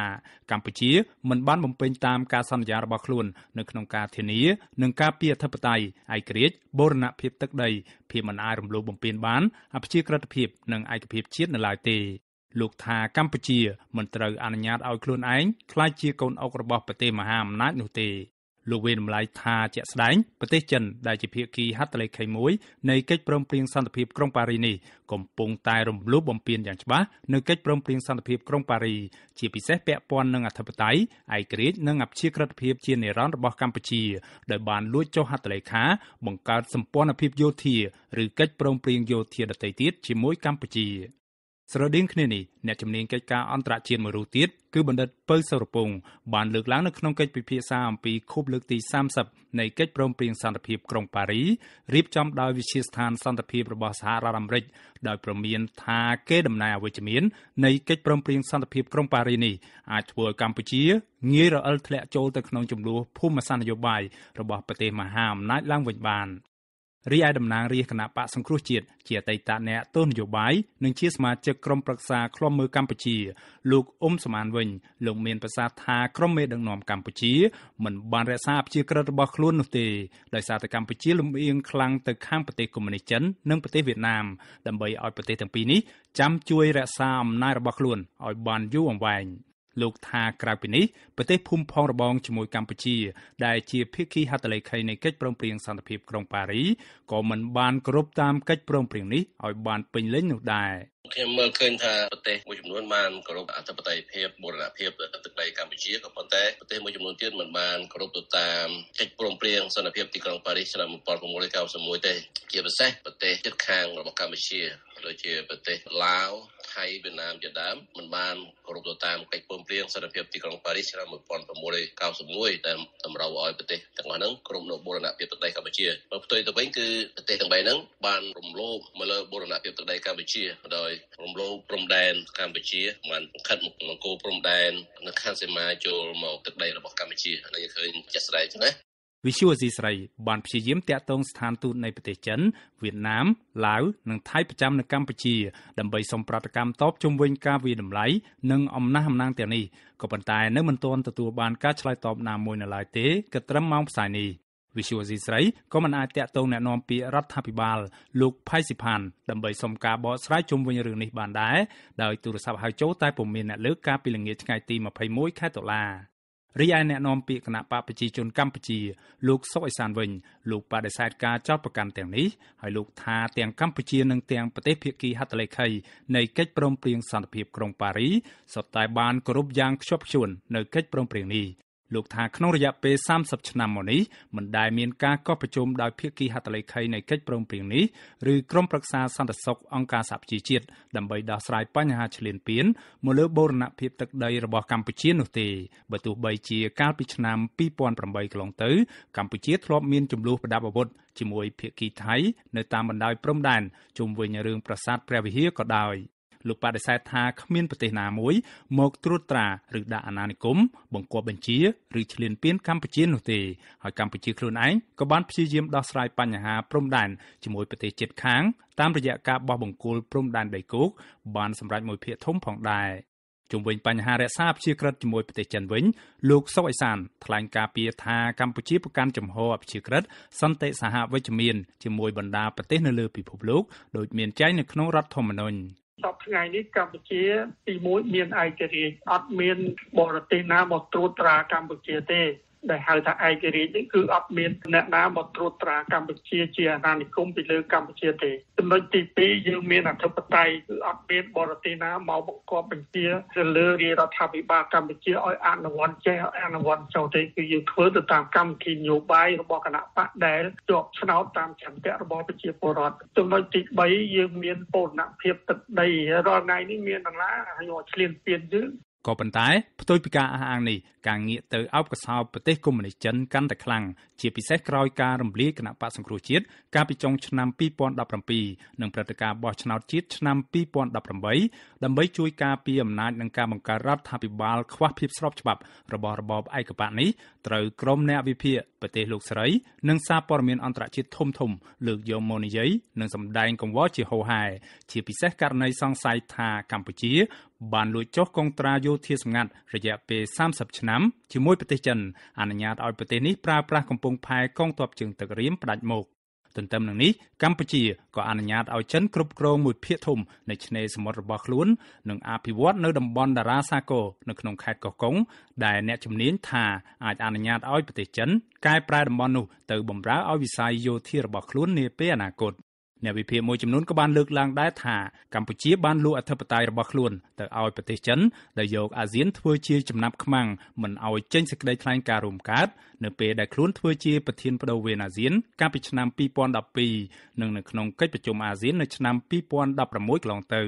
ក្តីបារម្ភដដែលនេះក៏បានលេចចេញសារជាថ្មីខណៈកម្ពុជាកំពុងត្រៀមខ្លួនធ្វើជាប្រធានអាស៊ាន នៅឆ្នាំ2022ខាងមុខនេះតំណាងរាជគណៈបកសង្គ្រោះជាតិ លោកអ៊ុំសំអានប្រមានថាការបន្តរំលោភបូរណភាពទឹកដីអធិបតេយ្យនិងអព្យាក្រឹតភាពរបស់កម្ពុជានេះគឺជារឿងមិនចេះចប់មិនចេះហើយដែលអាចបណ្ដាលឲ្យកម្ពុជាធ្លាក់ផុងក្នុងបញ្ហាធំពាក់ព័ន្ធនឹងសន្តិសុខក្នុងតំបន់ការមិនគោរពបូរណភាពទឹកដីកម្ពុជានឹងវាធ្វើឲ្យកម្ពុជាបាត់បង់ទឹកដីហើយវាអាចមានបញ្ហាចំនួនទៅពេលថ្ងៃអនាគតជាមួយនឹងប្រទេសជិតខាង អាចចង្កេះទៅដល់ការផ្ទុះអាវុធដោយកម្ពុជាធ្លាប់ផ្ទុះអាវុធជាមួយនឹងថៃនៅតំបន់ក្បែរប្រាសាទព្រះវិហារឆ្នាំ2008កន្លងមកចឹងឯងបញ្ហាហ្នឹងវាមិនចេះចប់ទេបើសិនជាប្រទេសទាំងអស់ហ្នឹងនៅតែរំលោភមកលើបូរណភាពទឹកដីកម្ពុជាហើយដែលប្រទេសចិនគាត់បានរំលោភនៅអធិបតេយ្យភាពនិងឯករាជ្យភាពនិងភាពក្រិតភាពរបស់កម្ពុជានោះឯងវាធ្វើឲ្យមានចំនួនរវាងកម្ពុជាជាមួយនឹងប្រទេសជិតខាងព្រោះវាអាចបង្កអសន្តិសុខទៅដល់ប្រទេសជិតខាងដែលជាសត្រូវរបស់ចិនដែលគេសង្ស័យថាដាក់មូលដ្ឋានយោធានៅខេត្តបរសេនុនិងខេត្តកោះកុងកាលពីខែមិថុនាក្នុងដំណើរទស្សនកិច្ចដ៏កម្ររបស់មន្ត្រីជាន់ខ្ពស់អាមេរិកមកកាន់កម្ពុជាអនុរដ្ឋមន្ត្រីការបរទេសអាមេរិកអ្នកស្រី Wendy Sherman បានជំរុញឲ្យរដ្ឋាភិបាលលោកនាយករដ្ឋមន្ត្រីហ៊ុនសែនងាកមកគោរពសិទ្ធិមនុស្សស្ដារប្រជាធិបតេយ្យនិងរក្សាតុល្យភាពនៃនយោបាយការបរទេសរបស់ខ្លួនប្រធានស្ដីទីគណៈបកសង្គ្រោះជាតិ លោកសំរងស៊ីថ្លែងនៅក្នុងកិច្ចពិភាក្សារៀបចំដោយក្លឹបអ្នកកាសែតបរទេសប្រចាំប្រទេសថៃកាលពីថ្ងៃទី19ខែតុលាថាក្រៅពីបញ្ហាប្រជាធិបតេយ្យនិងសិទ្ធិមនុស្សបញ្ហាព្យាក្រឹតរបស់កម្ពុជានេះអាចក្លាយជាកត្តាមួយ ដែលជំរុញឲ្យប្រទេសភាគីហត្ថលេខីលើកយកមកសាររើអំពីប្រសិទ្ធភាពនៃការអនុវត្តកិច្ចព្រមព្រៀងសន្តិភាពក្រុងប៉ារីនេះឡើងវិញបាន លោកថាប្រទេសកាន់តែច្រើនឡើងឥឡូវនេះចង់ឃើញកម្ពុជាអនុវត្តនៅជំហរអព្យាក្រឹតពិតប្រាកដជាពិសេសពាក់ព័ន្ធទៅនឹងបញ្ហាតានតឹងនៅក្នុងតំបន់សមុទ្រចិនខាងត្បូងក៏ប៉ុន្តែតំណាងនឹងជាឯកអគ្គរដ្ឋទូតកម្ពុជាប្រចាំសហរដ្ឋអាមេរិកលោកជុំសន្តិរីថ្លែងថាគ្មានកាតព្វកិច្ចបច្ចុប្បន្នបន្ថែមទៀតទេក្រោមកិច្ចព្រមព្រៀងសន្តិភាពប៉ារីនីលោកថាកម្ពុជាបានរក្សាប្រជាក្រិតអធិបតេយ្យនិងឯករាជ្យរបស់ខ្លួនដោយមានចែងក្នុងរដ្ឋធម្មនុញ្ញ លោកជុំសន្តិរីផ្ដល់អំណះអំណាងថាកិច្ចព្រមព្រៀងសន្តិភាពក្រុងប៉ារីនេះមិនដែលមានចែងថាបន្ទាប់ពីដំណាក់កាលអន្តរកាលទៅកម្ពុជានឹងស្ថិតនៅក្រោមការត្រួតពិនិត្យរបស់អន្តរជាតិនោះឡើយផ្ទុយពីការអះអាងនេះនាយិកាមជ្ឈមណ្ឌលសិទ្ធិមនុស្សកម្ពុជា អ្នកស្រីចော့សភាពនិយាយថាការលើកឡើងយ៉ាងដូចនេះនឹងធ្វើឲ្យកម្ពុជាខាតបង់ខ្លាំង ដែលខ្ញុំលើកថាខាតនោះដោយសារបើយើងមើលនៅក្នុងកិច្ចព្រមព្រៀងសន្តិភាពទីក្រុងប៉ារីសនេះបានលើកច្រើនមែនទែនអំពីការចូលរួមហើយនិងការទទួលស្គាល់របស់ប្រទេសជាហត្ថលេខីត្រូវគោរពដល់អធិបតេយ្យភាពត្រូវគោរពដល់បូរណភាពទឹកដីរបស់ប្រទេសកម្ពុជាមិនមិនអាចបង្កជាការបំពានណាមួយរំលោភដល់បូរណភាពទឹកដីរបស់ប្រទេសយើងឯងអញ្ចឹងបើសិនជាយើងយល់ថា កិច្ចព្រមព្រៀងនេះអស់សុពលភាពរួចទៅហើយអញ្ចឹងបានថាយើងច្រានចោលនៅកតាបកិច្ចរបស់ប្រទេសជាហត្ថលេខីនឹងមិនឲ្យគេមកចូលរួមគោរពអធិបតេយ្យភាពរបស់យើងមិនឲ្យគេគោរពដល់បូរណភាពទឹកដីរបស់យើង លើសពីនេះទៀតមាត្រា5នៃកិច្ចព្រមព្រៀងតាក់ទងនឹងអធិបតេយ្យឯករាជ្យបូរណភាពនិងភាពមិនអាយរំលោភបំពានបាននៃដែនដីអព្យាក្រឹតភាពនិងឯកភាពជាតិកម្ពុជា ដែលជាផ្នែកមួយយ៉ាងសំខាន់នៃកិច្ចព្រមព្រៀងសន្តិភាពក្រុងប៉ារីនេះបានចែងយ៉ាងច្បាស់ថាក្នុងករណីមានការរំលោភឬការគំរាមកំហែងលើអធិបតេយ្យឯករាជ្យបូរណភាពទឹកដីនិងភាពមិនអាយរំលោភបំពានបាននៃដែនដីអព្យាក្រឹតឬឯកភាពជាតិនៃកម្ពុជាឬលើការបដិញ្ញាអនុវត្តដទៃទៀតណាមួយនៅក្នុងកិច្ចព្រមព្រៀងនេះនោះបណ្ដាភាគីនៃកិច្ចព្រមព្រៀងនេះត្រូវធ្វើការពិគ្រោះយោបល់ជាបន្ទាន់ដើម្បីអនុម័តរាល់វិធានការសមស្របដើម្បីធានាការគោរពដល់ការបដិញ្ញាចិត្តទាំងនេះនិងដោះស្រាយរាល់បញ្ហារំលោភបំពានទាំងនោះតាមមធ្យោបាយដោយសន្តិវិធី យ៉ាងណាក៏ដោយស្ថាបនិកចម្បងមួយរូបនៃកិច្ចព្រមព្រៀងសន្តិភាពក្រុងប៉ារីនិងជាអតីតរដ្ឋមន្ត្រីការបរទេសអូស្ត្រាលី លោក Gareth Evans ថ្លែងនៅក្នុងសារវីដេអូថតទុកជាមុននៅក្នុងកិច្ចពិភាក្សារៀបចំដោយក្លឹបអ្នកកាសែតបរទេសប្រចាំប្រទេសថៃកាលពីថ្ងៃទី19ខែតុលាថាលោកមិនមានសង្ឃឹមខ្លាំងទេទៅលើការកោះប្រជុំឡើងវិញនៃកិច្ចព្រមព្រៀងសន្តិភាពក្រុងប៉ារីនេះដោយសារតែប្រទេសចិននិងប្រទេសរុស្ស៊ីដែលជាភាគីហត្ថលេខីនៃកិច្ចព្រមព្រៀងនេះ នៅតែអាចជំទាស់បាន នៅឯក្រុមប្រឹក្សាសន្តិសុខអង្គការសហប្រជាជាតិរីឯសមាគមអាស៊ានទៀតសោតក៏គ្មានអត្តពល លើពីនេះទៀតលោកថាក្នុងករណីដែលអាចមានការកោះប្រជុំរវាងភាគីហត្ថលេខីនៃកិច្ចព្រមព្រៀងសន្តិភាពក្រុងប៉ារីនេះបាននោះលទ្ធផលនៃការកោះប្រជុំនោះគឺគ្មានអ្វីក្រៅតែពីរុញទៅឲ្យក្រុមប្រឹក្សាសិទ្ធិមនុស្សរបស់អង្គការសហប្រជាជាតិជាអ្នកពិនិត្យសម្រាប់បន្តដែលលោកថាក្រុមប្រឹក្សានេះពុំមានសមត្ថភាពនិងឥទ្ធិពលនោះទេដោយសារតែមានក្រុមប្រទេសប្លុកកុម្មុយនីសដូចជាចិននិងរុស្ស៊ីជាសមាជិកចាំជួយការពារនិងកាងឲ្យភាគីរដ្ឋាភិបាលកម្ពុជាដដែល។ ក៏ប៉ុន្តែអ្វីដែលជាក្តីសង្ឃឹមរបស់ស្ថាបនិកកិច្ចព្រមព្រៀងសន្តិភាពក្រុងប៉ារីសរូបនេះគឺថាមានតែប្រជាពលរដ្ឋកម្ពុជាខ្លួនឯងនោះទេ ដែលជាអ្នកអាចកំណត់ជោគវាសនារបស់កម្ពុជាបានដោយមានការផ្ដល់ការគ្រប់គ្រងតាមរយៈការដាក់ទណ្ឌកម្មជាក់លាក់ពីក្រមប្រទេសនិយមប្រជាធិបតេយ្យ I believe that the greatest hope for Cambodia's future lies ខ្ញុំជឿថាក្តីសង្ឃឹមដ៏ខ្លាំងបំផុតសម្រាប់អនាគតរបស់ប្រទេសកម្ពុជានៅពេលនោះគឺស្ថិតនៅលើប្រជាពលរដ្ឋកម្ពុជាខ្លួនឯងដោយមានការផ្ដល់ការគ្រប់គ្រង និងសម្ពាធពីខាងក្រៅมันមានច្រើនទេពីអង្គការពហុភាគីតែពីប្រទេសនីមួយៗដែលបដិញ្ញាចិត្តពិតប្រាកដនៅក្នុងការលើកកម្ពស់សិទ្ធិមនុស្សនិងលទ្ធិប្រជាធិបតេយ្យប្រទេសទាំងនោះអាចដាក់នៅសម្ពាធពិតប្រាកដមួយចំនួន ជាពិសេសនៅក្នុងបរិបទនៃការបោះឆ្នោតជាតិឆ្នាំ2023ខាងមុខ ដើម្បីទាមទារឲ្យរបបលោកហ៊ុនសែនលុបចោលនៅបំរាមមកលើគណៈបកប្រឆាំងធំជាងគេនិងអនុញ្ញាតឲ្យមានការអនុវត្តពិតប្រាកដនៅសិទ្ធិប្រជាពលរដ្ឋនិងសិទ្ធិនយោបាយជាសកល ក្នុងចំណោមប្រជាពលរដ្ឋកម្ពុជាទាំងមូលកន្លងទៅការិយាល័យរបស់ប្រធានកិច្ចការសម្ងាត់អាមេរិកកាំងដែលជាបណ្ដុំភ្នាក់ងារកិច្ចការសម្ងាត់អាមេរិកកាំងចំនួន17ស្ថាប័នដែលក្នុងនោះក៏រួមមានទាំងភ្នាក់ងារ CIA ផង បានចេញរបាយការណ៍វាតម្លៃអំពីការគម្រាមកំហែងជាសកលប្រចាំឆ្នាំ2019ដោយបានវាតម្លៃថាការរអិលធ្លាក់របស់កម្ពុជាចូលទៅក្នុងរបបគ្រប់គ្រងបែបផ្ដាច់ការនិយម ដែលបណ្ដាលឲ្យគណៈបកប្រជាជនកម្ពុជាអាចគ្រប់គ្រងបានទាំងស្រុងនៅអំណាចនីតិបញ្ញត្តិរបស់ប្រទេសនេះអាចបើកផ្លូវឲ្យមានការធ្វើវិសោធនកម្មកែប្រែរដ្ឋធម្មនុញ្ញដែលអាចបណ្ដាលឲ្យមានវត្តមានយោធាចិននៅក្នុងប្រទេសកម្ពុជាបានខ្ញុំបាទមេរិត Visual C ស្រី រាយការណ៍ពីរដ្ឋធានី Washington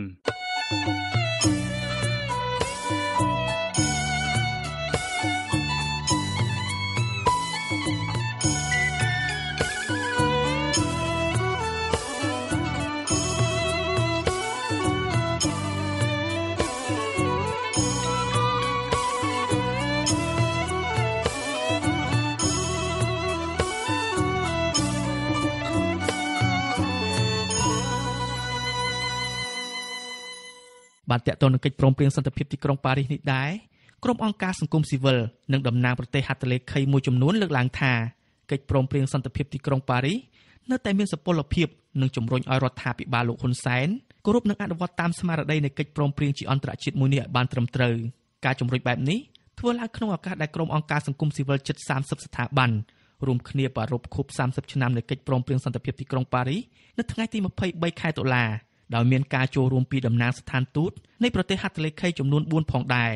ភាគីរដ្ឋាភិបាលក៏ប្រារព្ធខួប30ឆ្នាំនេះទ្រង់ទ្រីធំដែរក៏ប៉ុន្តែលើកសរសើរពីសមិទ្ធផល និងនយោបាយឈ្នះឈ្នះរបស់លោកហ៊ុនសែនច្រើនជាងឲ្យតម្លៃលើកិច្ចព្រមព្រៀងនេះបានអ្នកស្រីខែសនងរាយការណ៍ព័ត៌មាននេះក្រុមអង្គការសង្គមស៊ីវិលនិងតំណាងប្រទេសហត្ថលេខីចំនួន4រួមមានសហរដ្ឋអាមេរិកបារាំង អង់គ្លេសនិងជប៉ុន នៅតែឲ្យតម្លៃនឹងទៀមទារដ្ឋាភិបាល អនុវត្តឲ្យបានពេញលេញនៅកិច្ចព្រមព្រៀងជាប្រវត្តិសាស្ត្រមួយនេះជាឫសគល់នាំឲ្យកម្ពុជាមានសន្តិភាពលទ្ធិប្រជាធិបតេយ្យការផ្សះផ្សាជាតិនិងការរីកចម្រើនឯអគ្គរដ្ឋទូតសហរដ្ឋអាមេរិកប្រចាំកម្ពុជាលោក Patrick Murphy ថ្លែងសារជាវីដេអូថាកិច្ចព្រមព្រៀងសន្តិភាពទីក្រុងប៉ារីនេះបានជួយប្រែក្លាយកម្ពុជាពីប្រទេសដែលដាច់ដោចដោយសារសង្គ្រាមទៅជាប្រទេសដែលមានដំណើរការអភិវឌ្ឍល្អចាក់គ្រឹះសន្តិភាព និងស្ថិរភាពមកដល់សប្តាហ៍នេះលោកបន្តថាខួប30ឆ្នាំនេះគឺជាឱកាសមួយសម្រាប់អបអរសមិទ្ធផលទាំងនោះនិងជាឱកាសសម្រាប់ធ្វើការឆ្លុះបញ្ចាំងលើចំណុចខ្វះខាតផងដែរលោកបន្ថែមទៀតថាកិច្ចព្រមព្រៀងនេះបាននាំកម្ពុជាឲ្យទៅបង្កើតរដ្ឋធម្មនុញ្ញមួយ តែសេចក្តីប្រាថ្នាជាច្រើនរបស់ប្រជាជនកម្ពុជា នៅតែមិនទាន់សម្រេចបាននោះទេដូចជាលទ្ធិប្រជាធិបតេយ្យពិតប្រាកដនិងសិទ្ធិសេរីភាពពេញលេញជាដើមឯអគ្គរដ្ឋទូតសហរដ្ឋអាមេរិករូបនេះបញ្ជាក់ថាសហរដ្ឋអាមេរិកបដិញ្ញាចិត្តជាថ្មីក្នុងការជួយសម្រេចបាននូវគោលការណ៍នៃកិច្ចព្រមព្រៀងសន្តិភាពទីក្រុងប៉ារីនិងលើកទឹកចិត្តដល់ប្រទេសហត្ថលេខីទាំងអស់ដោយរួមទាំងប្រទេសកម្ពុជាផងឲ្យធ្វើដូចគ្នានេះដែរលោកគូបញ្ជាក់ចុងក្រោយថាអាមេរិកនៅតែជាដៃគូនិងជាមិត្តរឹងមាំរបស់ប្រជាជនកម្ពុជា ជាមួយគ្នានេះឯកអគ្គរដ្ឋទូតអង់គ្លេសអ្នកស្រី Tina Rezzo បានលើកឡើងថាខួប30ឆ្នាំនៃកិច្ចព្រមព្រៀងសន្តិភាពទីក្រុងប៉ារីនេះគឺជាឱកាសសម្រាប់ប្រទេសហត្ថលេខីទាំងអស់ដើម្បីឆ្លុះបញ្ចាំងនិងពិចារណាអំពីប្រទេសកម្ពុជាក្នុងពេលបច្ចុប្បន្ននេះអ្នកស្រីលើកឡើងថាកិច្ចព្រមព្រៀងនេះបានដើរតួនាទីយ៉ាងសំខាន់ក្នុងការនាំមកនូវសន្តិភាពនិងស្ថិរភាពដល់កម្ពុជា អ្នកស្រីលើកទឹកចិត្តឲ្យរដ្ឋាភិបាលកម្ពុជាពង្រឹងនៅមហិច្ឆតារបស់កិច្ចព្រមព្រៀងនិងរដ្ឋធម្មនុញ្ញកម្ពុជាដើម្បីធានាបានថាប្រជាជនកម្ពុជាមានសិទ្ធិកំណត់អនាគតនយោបាយរបស់ខ្លួន។ ក្នុងពិធីរំលឹកខួប30ឆ្នាំដែលរៀបចំនៅទីស្នាក់ការអង្គការមជ្ឈមណ្ឌលអប់រំច្បាប់សម្រាប់សហគមន៍ហៅកាត់ថា CLEC មន្ត្រីអង្គការសង្គមស៊ីវិលនិងក្រុមអ្នកវិភាគឯករាជ្យបានលើកឡើងអំពីប្រវត្តិនិងខ្លឹមសារកិច្ចព្រមព្រៀងសន្តិភាពទីក្រុងប៉ារីព្រមទាំងការអនុវត្តរបស់រដ្ឋាភិបាលនាពេលកន្លងមក។ ចំណែកតំណាងកម្មករកសិករនិងយុវជនវិញពួកគេក៏បានឡើងបញ្ចេញមតិអំពីស្ថានភាពអាក្រក់អាក្រក់ដែលពួកគេបានជួបប្រទះដូចជាការបំបិទសិទ្ធិសេរីភាពជាមូលដ្ឋាន ការរំលោភសិទ្ធិដីធ្លី និងសិទ្ធិការងារជាដើមប្រធានក្រុមអ្នកច្បាប់អមរិន លោកមេធាវីសុកសំអឿនមានប្រសាសន៍ថាទោះបីរដ្ឋាភិបាលអះអាងថាកិច្ចព្រមព្រៀងជាអន្តរជាតិនេះផុតសុពលភាពដោយជំនួសមកវិញនៅរដ្ឋធម្មនុញ្ញឆ្នាំ1993ក្តីក៏លោកសង្កេតឃើញថារដ្ឋាភិបាលមិនទាន់បានអនុវត្តឲ្យស្របតាមរដ្ឋធម្មនុញ្ញពេញលេញនោះដែរ។ លោកបន្តថាសប្តាហ៍ថ្ងៃនេះរដ្ឋាភិបាលបានបង្កើតច្បាប់ផ្សេងផ្សេងដែលផ្ទុយពីស្មារតីដើមចំនៃរដ្ឋធម្មនុញ្ញធ្វើឲ្យប៉ះពាល់ដល់ដំណើរការលទ្ធិប្រជាធិបតេយ្យនៅកម្ពុជាសូមធ្វើអនុសាសន៍គឺថាសូមធ្វើឲ្យតែស្មារតីរដ្ឋធម្មនុញ្ញឆ្នាំ1993នឹងអនុវត្តតាមទៅគឺបានហើយរដ្ឋធម្មនុញ្ញកំណត់ឲ្យរដ្ឋនឹងធានាសិទ្ធិសេរីភាពប្រជាប្រដ្ឋក៏ប៉ុន្តែយើងសប្តាហ៍ថ្ងៃសេរីភាពបញ្ចេញមតិគឺធ្លាក់ជិតសូន្យហើយយើងអាចនិយាយតាមស្កាស្លាយចឹងតិចតួចមែនក៏ប៉ុន្តែនិយាយយមិនត្រូវក៏អត់ល្អដែរសិទ្ធិដែលធ្វើបាតកម្មហ្នឹងមិនមែនជាសេរីភាពទេជាសិទ្ធិការបញ្ចេញមតិគ្រាន់តែជាសេរីភាពទេក៏ប៉ុន្តែដល់បាតកម្មគឺជាសិទ្ធិក៏ប៉ុន្តែយើងអត់អាចធ្វើបានទេតែធ្វើបានខ្លាយទៅជាអ្នកប្រឆាំងខ្លាយទៅជា មានទោសបាត់យុះយងបាត់អីអញ្ចឹងដល់អញ្ចឹងទៅសេរីភាពពីរហ្នឹងគឺសូន្យអត់សេរីភាពបញ្ចេញមតិអត់សិទ្ធិធ្វើបាតកម្មទេ គឺប្រទេសយើងមិនមែនជាលទ្ធិប្រជាធិបតេយ្យទេ ទន្ទឹមគ្នានេះអ្នកស្រាវជ្រាវការអភិវឌ្ឍសង្គមបណ្ឌិតមាសនេះថ្លែងថាស្មារតីនៃកិច្ចព្រមព្រៀងសន្តិភាពទីក្រុងប៉ារីនៅតែរស់រវើកហើយប្រជាពលរដ្ឋទាំងក្នុងស្រុកនិងក្រៅស្រុកក៏ចាប់ផ្ដើមចូលរួមអបអរខួប30ឆ្នាំនេះនិងជជែកពិភាក្សាគ្នាយ៉ាងផុសផុលទាំងក្នុងចំណោមភាគីរដ្ឋាភិបាល។ លោកយល់ថាប្រសិនបើប្រជាពលរដ្ឋខ្មែរនិងគណៈបកនយោបាយផ្សេងផ្សេងកំពុងផ្អែកតែលើសហគមន៍អន្តរជាតិហើយងាកមករួមគ្នាទៀមទានោះគឺនឹងអាចធ្វើឲ្យមានការគោរពនិងអនុវត្តពេញលេញតាមស្មារតីនៃកិច្ចព្រមព្រៀងសន្តិភាពទីក្រុងប៉ារីសឡើងវិញការប្រជុំថ្ងៃនេះក៏ជាផ្នែកមួយនៃសកម្មភាពនៃការចាប់ផ្ដើមរបស់យើងដែរក៏ប៉ុន្តែយើងក៏ទទួលស្គាល់បានថាយើងមិនអាចដើរស្រែកពេញប្រទេសពេញស្រុកបានទេវាត្រូវតែមានយន្តការណាមួយដែលត្រូវរៀបចំឡើងចាប់ផ្ដើមធ្វើការទំនាក់ទំនងជាមួយនឹងអន្តរជាតិជាមួយនឹងប្រទេសហត្ថលេខីដើម្បីឲ្យអន្តរជាតិហើយនឹងអ្នកនយោបាយខ្មែររួមទាំងរដ្ឋាភិបាលខ្មែរវិញគឺចាប់ផ្ដើមពិនិត្យមើលរឿងឡើងវិញបាទទី2ខ្ញុំគិតថាគណៈបកនយោបាយដែលមិនមែនជាគណៈបកកណ្ដាលអំណាចក៏ត្រូវតែមានទួនាទីណាមួយដើម្បីរួមគ្នាគិតលើករឿងកិច្ចព្រមព្រៀងទីក្រុងប៉ារីសនេះឡើងដែរតកតងទៅនឹងខួប30ឆ្នាំរដ្ឋាភិបាលលោកហ៊ុនសែនក៏បានធ្វើពិធីអបអរទ្រង់ទ្រាយធំដែរនៅទីស្តីការគណៈរដ្ឋមន្ត្រី រដ្ឋមន្ត្រីក្រសួងការបរទេសនិងសហប្រតិបត្តិការអន្តរជាតិលោកប្រាក់សុខុនថ្លែងក្នុងពិធីនោះថាមានតែលោកហ៊ុនសែនម្នាក់គត់ដែលជាអ្នកជំរុញឲ្យមានកិច្ចព្រមព្រៀងសន្តិភាពទីក្រុងប៉ារីនេះប៉ុន្តែលោកហាក់មិនផ្ដល់តម្លៃដល់កិច្ចព្រមព្រៀងនេះប៉ុន្មានទេលោកអះអាងថានយោបាយឈ្នះឈ្នះរបស់លោកហ៊ុនសែនទៅវិញទេដែលបានបញ្ចប់សង្គ្រាមស៊ីវិលទាំងស្រុងនៅឆ្នាំ1998ហើយកម្ពុជាស្គាល់សន្តិភាពពេញលេញមានការបង្រួបបង្រួមជាតិ និងសបោសបាយរហូតមកដល់សប្តាហ៍ថ្ងៃនេះប្រទេសធំនិងតូចឯងមានប្រវត្តិសាស្ត្រវប្បធម៌ប្រពៃណីរបៀបរបបរស់នៅនិងការរៀបចំនយោបាយខុសៗគ្នាទីនីមួយៗមិនគួរត្រូវបានបង្អាក់ដំណើរដោយសារតែការដាក់ទណ្ឌកម្មជាឯកតោភាគីការហាមឃាត់ឬវិធានការបង្ខិតបង្ខំផ្នែកសេដ្ឋកិច្ចផ្សេងទៀតដែលរលោភបំពានលើច្បាប់អន្តរជាតិនិងគោលការណ៍ដែលមានចែងក្នុងធម្មនុញ្ញនៃអង្គការសហប្រជាជាតិនោះឡើយទោះជាយ៉ាងណា ឯកអគ្គរដ្ឋទូតជប៉ុនប្រចាំប្រទេសកម្ពុជា លោក Masahiro Mikami ដែលតំណាងឲ្យអង្គទូតនឹងប្រទេសហត្ថលេខីនៃកិច្ចព្រមព្រៀងសន្តិភាពទីក្រុងប៉ារីបានថ្លែងនៅចំពោះមុខលោកប្រាក់សុខុនតាមរយៈអ្នកបកប្រែថាចំណុចមួយចំនួនដែលចែងក្នុងកិច្ចព្រមព្រៀងសន្តិភាពទីក្រុងប៉ារីនៅមិនទាន់ផុតរលត់នោះទេលោកសង្ឃឹមថាកម្ពុជានឹងអាចស្វែងរកវិធីសាស្ត្រផ្ទាល់ខ្លួនដើម្បីសម្រេចបាននូវគោលការណ៍នានាដែលមានចែងក្នុងរដ្ឋធម្មនុញ្ញនិងកិច្ចព្រមព្រៀងសន្តិភាពទីក្រុងប៉ារី កិច្ចព្រមព្រៀងសន្តិភាពទីក្រុងប៉ារីបានបង្កើតមូលដ្ឋានដ៏រឹងមាំមួយដើម្បីកសាងអនាគតប្រទេសកម្ពុជាវាជាការពិតដែលថាផ្នែកខ្លះនៃកិច្ចព្រមព្រៀងសន្តិភាពមានលក្ខណៈអន្តរកាលហើយបានបំពេញគោលបំណងប្រវត្តិសាស្ត្ររបស់ខ្លួនជាយូរមកហើយឧទាហរណ៍ដូចជាការរៀបចំនិងបង្កើតអ៊ុនតាក់និងការបោះឆ្នោតលើកដំបូងយ៉ាងណាក្តីវាជាការពិតផងដែរដែលផ្នែកខ្លះទៀតមិនបានបាត់បង់តម្លៃរបស់វានោះទេហើយបន្តមានភាពពាក់ព័ន្ធរហូតមកទល់សប្តាហ៍ថ្ងៃខ្ញុំជឿជាក់ថាផ្នែកទាំងនោះគឺនៅរួមគ្នាជាមួយនឹងរដ្ឋធម្មនុញ្ញនៃប្រជាណាចក្រកម្ពុជាហើយផ្នែកទាំងនោះគឺជាឯកសាររស់ដែលនឹងនៅតែបន្តដឹកនាំកម្ពុជាឲ្យក្លាយជាកោះសន្តិភាពដែលខ្ញុំសូមដកស្រង់ចេញពីរដ្ឋធម្មនុញ្ញនៃរដ្ឋាភិបាលកម្ពុជាកោះសន្តិភាពផ្អែកលើប្រជាធិបតេយ្យសេរីពហុបកធានាសិទ្ធិមនុស្សក្នុងឱកាសនេះដែរប្រធានគណៈបកសង្គ្រោះជាតិលោកកឹមសុខាបានបង្ហោះសារនៅលើ Facebook ថាកិច្ចព្រមព្រៀងសន្តិភាពទីក្រុងប៉ារី23ដុល្លារឆ្នាំ1991មិនមែនសម្រាប់តែភាគីខ្មែរណាមួយទេ តែសម្រាប់ប្រជាជាតិខ្មែរទាំងមូល លោកយល់ថាការផ្ដល់តម្លៃដោយគោរពនិងអនុវត្តនៅស្មារតីនៃកិច្ចព្រមព្រៀងនេះគឺប្រទេសកម្ពុជានិងប្រជាពលរដ្ឋខ្មែរអាចទាញយកផលប្រយោជន៍ជាច្រើនពីកិច្ចព្រមព្រៀងនេះជាពិសេសកិច្ចព្រមព្រៀងនេះអាចជួយធានាការពារនៅអធិបតេយ្យភាពឯករាជ្យបូរណភាពទឹកដី និងដំណើរការប្រជាធិបតេយ្យសេរីពហុបកទៀតផង។ គណៈបកប្រឆាំងមន្ត្រីអង្គការសង្គមស៊ីវិលនិងអ្នកជំនាញអះអាងដូចគ្នាថាកិច្ចព្រមព្រៀងសន្តិភាពទីក្រុងប៉ារីនៅតែមានសុពលភាពហើយការដែលលោកហ៊ុនសែនចង់លុបបំបាត់កិច្ចព្រមព្រៀងនេះព្រោះលោកកំពុងដឹកនាំប្រទេសទៅរករបបផ្ដាច់ការផ្ទុយពីអ្វីដែលមានចែងនៅក្នុងកិច្ចព្រមព្រៀងនេះចា៎នាងខ្ញុំខែសុណងវັດឈូអាស៊ីសេរីរាយការណ៍ពីរដ្ឋធានី Washington